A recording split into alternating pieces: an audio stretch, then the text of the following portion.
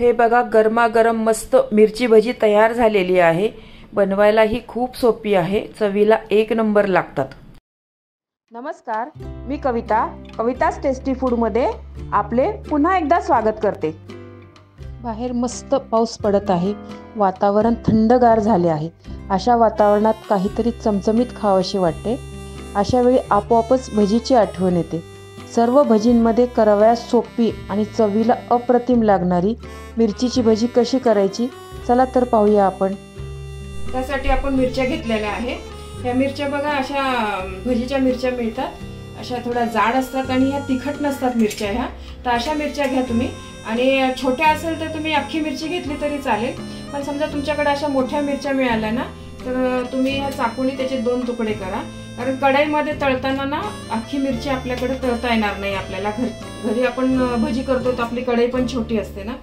बाहेरच्या माणसांकडे कढई मोठी असते त्याच्यामुळे ते अख्खी मिरची तळू शकतात. तर या मिरच्यांना ना तुम्ही असं मधनं चीर पाडून घ्या असं छान.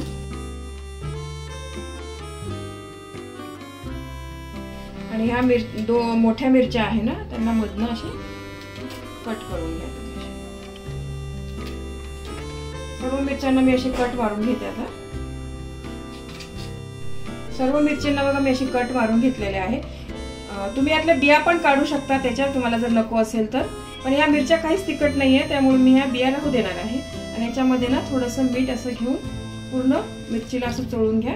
म्हणजे मग मिरचीला चव लागेल मिरची आपण जेव्हा भजी करू ना तेव्हा अशी पानसट लागणार नाही. नाहीतर वरचं कवर टेस्टी लागेल आणि आतनं ना मिरचीला एवढी चव नाही लागत. त्यामुळे असं मिरचीमध्ये ना पूर्ण तुम्ही असं मीठ लावून घ्या. याच टाईपने तुम्ही मिरच्या घेतल्या ना तर तिखट नाही आहे अजिबात या मिरच्या. तर भजी मस्त लागतात या मिरचीची. याच पद्धतीने सर्व मिरचीला मी मीठ लावून घेते. सर्व भजीमध्ये मिरचीची भजी आहे ना एकदम सोपी आहे करायला. काहीच अवघड नाही आहे बाकीच्या भज्यांमध्ये आपण मसाला वगैरे काही ना काही लागतो पण ह्या भजीमध्ये ना अगदी बेसन ओवा थोड्याशाच गोष्टीमध्ये ना छान मस्त भजी होतात. जेव्हाही आपल्याला खायची इच्छा झाली तरी आपण मिरची जर घरात असेल तुमच्या पटकन आपण ही भजी करू शकतो. या सर्व मिरचींना मी छान मीठ लावून घेतलेलं आहे. आता आपण बेसनाचं ना पीठ तयार करूया भजीचं. एक बाउल मी बेसन घेतलेलं आहे. यामध्ये मी एक चमचा तांदळाचं पीठ घेतलेलं आहे. याच्याने जरा भजी ना आपली छान कुरकुरीत होईल. चवीपुरतं मीठ. ओवा घेतलेला आहे. हा ओवा ना हातामध्ये थोडासा क्रश करून घ्या असा. म्हणजे ओव्याचा स्वाद छान लागतो. आणि मिरचीच्या भजीमध्ये ओवा जरूर घाला तुम्ही. चवीला तर चांगले लागतातच पण भजी वगैरे जरा असे पोटाला बाधू नये म्हणून खूप गरजेचं आहे.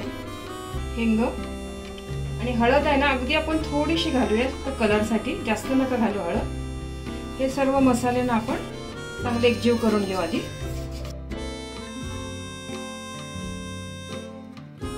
आणि भजीचं पीठ भिजवताना ना अगदी थोडं थोडं पाणी टाकून तुम्ही भिजवा. एकदम जास्त पाणी नका टाकू. जास्त पाणी टाकलं ना तुम्ही तर एकदम गाठी होतील याच्यामध्ये आणि पीठ पण पातळ होईल.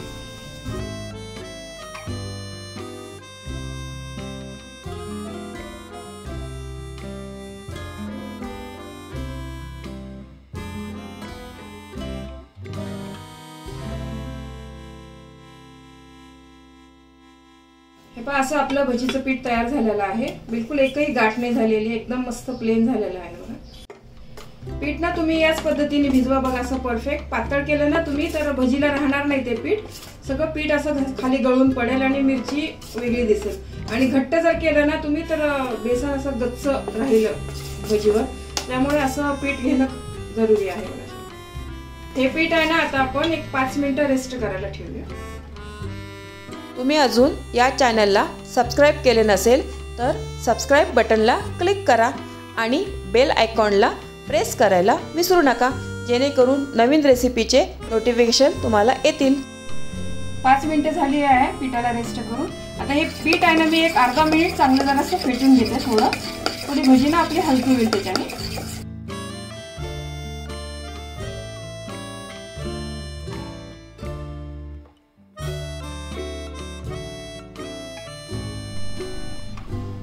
अगदी चिमूट मी याच्यामध्ये सोडा घालणार आहे बघा हे आपल्या चिमटीत बसेल. जास्त नाही घालणार आहे. जास्त घातल्यानंच मग भजी जराशी तेलकट होतात. मिक्स करून घेऊया चांगलं.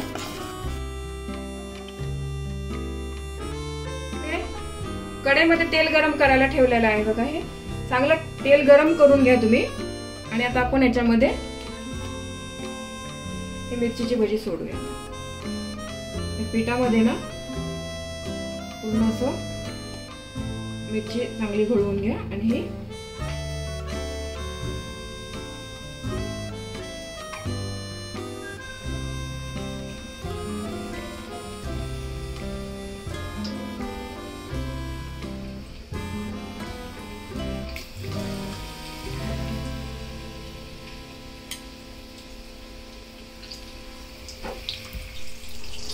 एका साईडने आपली भजी झाली आहे बघा. आपण आता याला पलटूया आणि दो दुसऱ्या साईडने पण छान तळून घेऊया.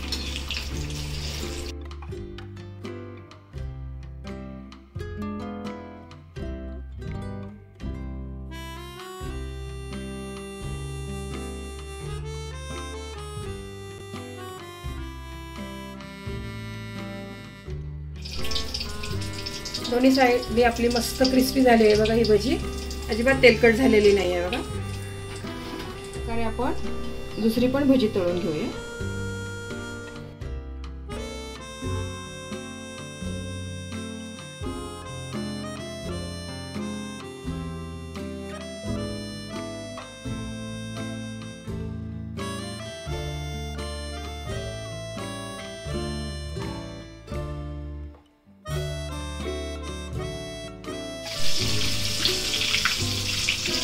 दोन्ही साईडने आपली मस्त क्रिस्पी तळून झालेली आहे इथे. मला पण आता काढून घेतो.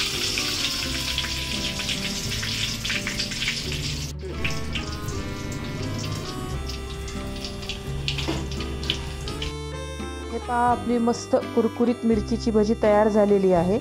या पद्धतीने तुम्ही मिरचीची भजी नक्की करून पहा.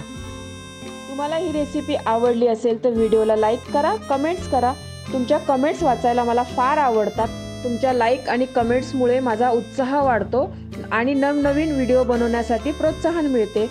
तर पुन्हा भेटूया एका नवीन रेसिपीसह तोपर्यंत मस्त खा काळजी घ्या. धन्यवाद.